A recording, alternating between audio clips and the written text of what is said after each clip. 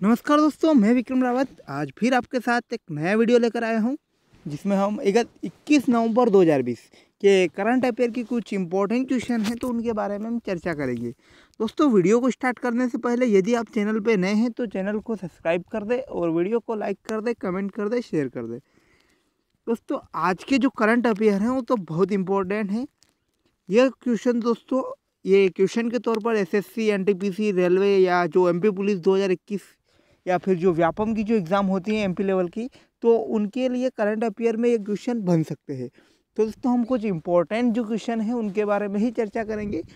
Start करते हैं पहला क्वेश्चन पहला क्वेश्चन है, किस देश ने पाकिस्तान सहित बारह देशों के आगंतुकों को विज़िट वीज़ा जारी करने से अस्थायी तौर पर निलंबित कर दिया है? ऑप्शन है यूएई कुवैत सऊदी अरब या अमेरिका तो ये है दोस्तों यूएई जो संयुक्त अरब अमीरात हैं। उसने पाकिस्तान सहित 12 देशों के आगंतुकों को विज़िट वीज़ा जारी करने पर अस्थायी तौर पर निलंबित कर दिया है। दोस्तों, कोरोना के जो संक्रमण बढ़ने के कारण जो देश हैं बारह, उन देशों में जो कोरोना का संक्रमण लगातार बढ़ रहा है तो जिस कारण यूएई सरकार ने वहाँ से दूसरे देशों से आने वाले लगभग बारह देशों से जो वहाँ के आगंतुक आने वाले हैं उनको विज़िट वीज़ा जारी करने पर अस्थायी तौर पर निलंबित कर दिया है।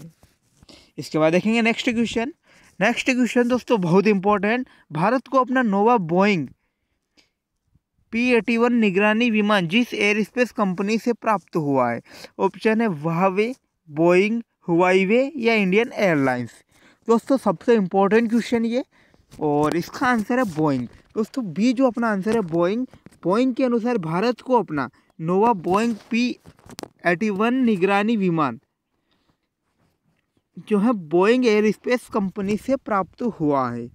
इसके बाद देखेंगे नेक्स्ट क्वेश्चन जिस देश की अदालत ने जेयूडी चीफ हाफिज सईद को 10 साल की सज़ा सुनाई है, दोस्तों जो आतंकवादी हैं, हाफिज सईद, उसको किस देश की अदालत ने जो है 10 साल की सज़ा सुनाई है?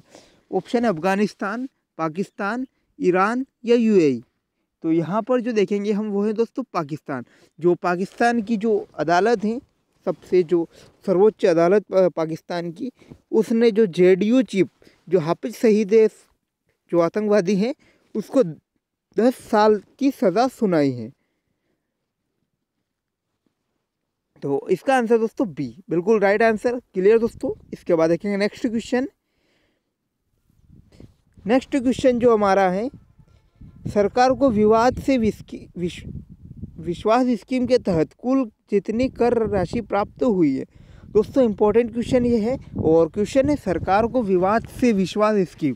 जो दोस्तों विवाद से विश्वास स्कीम है उसके तहत कुल कितनी कर राशि प्राप्त हुई है?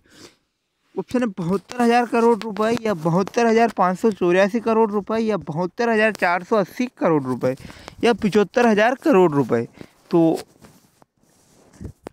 ये होंगे दोस्तों सी। सी जो अपना आंसर है बहत्तर हज़ार चार सौ अस्सी करोड़ रुपए। तो दोस्तों जो सरकार को जो विवाद से विश्वास स्कीम, उसके तहत जो है बहत्तर हज़ार चार सौ अस्सी करोड़ रुपए प्राप्त हुए हैं।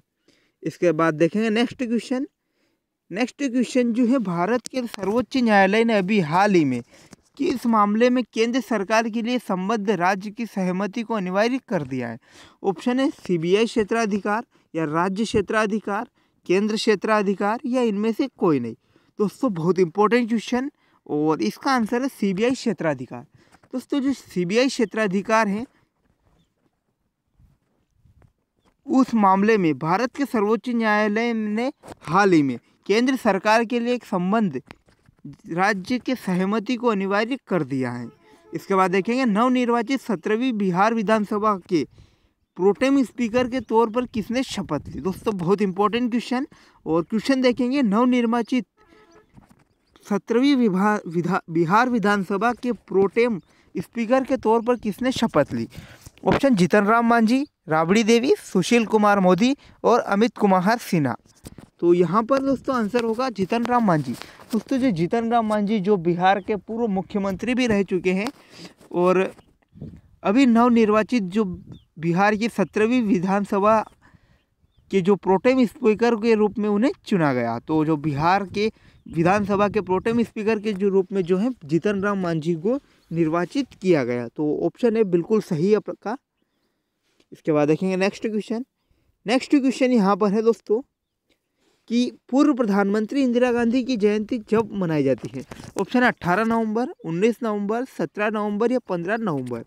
तो 19 नवंबर, दोस्तों, जो 19 नवंबर को है, पूर्व प्रधानमंत्री जो भारत की लगभग 15 साल प्रधानमंत्री रही, श्रीमती इंदिरा गांधी। तो उनके जो जन्म दिवस दिवस यानी जयंती पर जो है 19 नवंबर 19 नवंबर को उनकी जयंती मनाई जाती है।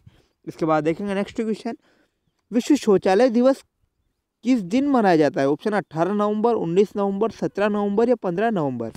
तो ये होगा दोस्तों उन्नीस नवंबर।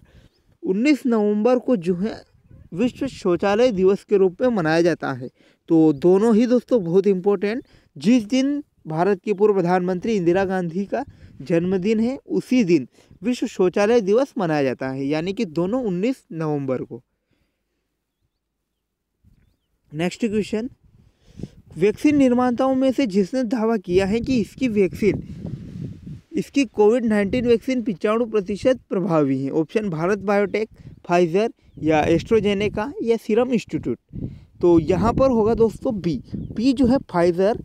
तो जो फाइजर वैक्सीन निर्माता है, उसने कोविड नाइन्टीन वैक्सीन का पिचाणु प्रतिशत प्रभावी होने का दावा किया है। इसके बाद देखेंगे नेक्स्ट क्वेश्चन।